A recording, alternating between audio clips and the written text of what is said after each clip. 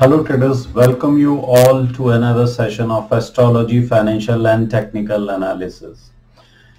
जमाने बीत गए जब गवर्नमेंट कहती थी कि व्यापार हम करेंगे और आज प्रधानमंत्री नरेंद्र मोदी की नई सोच और नए भारत का निर्माण प्रारंभ। देखिए ये एक डिफेंस इक्विपमेंट मेकर कंपनी है बीईएमएल और यहाँ पर गवर्नमेंट अपनी 54.03 परसेंट स्ट्रेक को बेचने के लिए अपनी अर्नेस्ट मनी या बिड शुरू कर रही है। और एट्थ मार्च की न्यूज़ के हिसाब से लाइफ मिंट के हिसाब से सिक्स कंपनीज़ जिसमें Tata motors Mahindra Mahindra limited Ashok Leyland इसके अंदर 26 परसेंट स्टेक्स लेने की पोजीशन में है।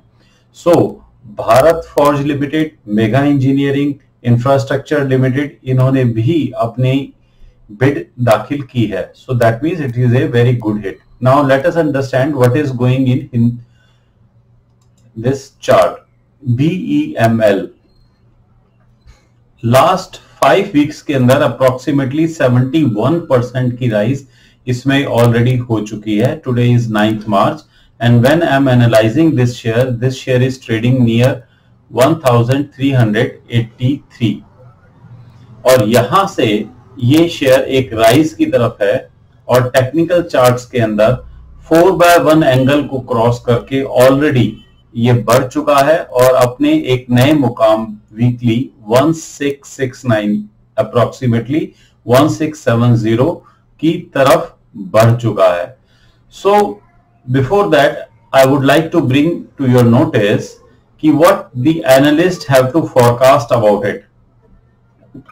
In one year's times, analyst says that they are expecting a price of 1416 price is they are into a negative zone and they are predicting 1175 which is very amazing. I think the analysts have to reconsider their analysis. The only important thing which we have to see from here is the financial thing. Financials they are constantly evolving लगातार बढ़ रहे हैं and it is a profit making company peer group के अंदर इनको सामना करना पड़ता है. Ramakrishna forgings limited Texmaco rail and engineering limited Titagarh wagon limited जो कि इनसे काफ़ी नीचे स्तर पर है, यानी कि no doubt B M L is a market leader with PE ratio of 92.42 and PB ratio of 2.61 holdings as we all know is maximum with the government और द म्यूचुअल फंड और डोमेस्टिक इंस्टीट्यूशन और foreign financial institution retails and others are only 21.67 percent Now, let me take you to the astrology chart. Again, what we can see a very interesting swing phenomena how history is making and how history is repeating itself. जब Saturn और Uranus का trine था approximately 2003-4 के आसपास तभी अपने लो के ऊपर चलता था 81 वहाँ से जब सैटर्न की स्क्वायर बनी यूरेनस में 2009 और 2010 में ये अपनी एक पीक को 1778 की पीक को टच करके वापस आया। और स्क्वायर पोजीशन के बाद सैटर्न यूरेनस जब दोबारा जाकर मिलते हैं 2017-18 में, ये दोबारा से सेम 100 लेवल 108 के लेवल को टच करके दोबारा 1945 के लेवल पर आता है। और अब 2020-21 में जब सैटर्न यूरेनस का स्क्वायरिंग पोजीशन बना रहा है इसकी एक अपवर्ड जर्नी स्टार्ट हो चुकी है।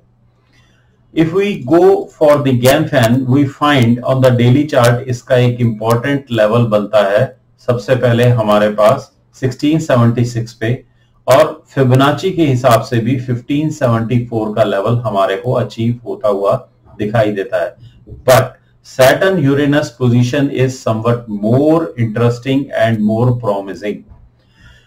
1258 का लेवल क्रॉस होने के बाद 1621 1621 क्रॉस होने के बाद 1985 and above is the potential of BEML.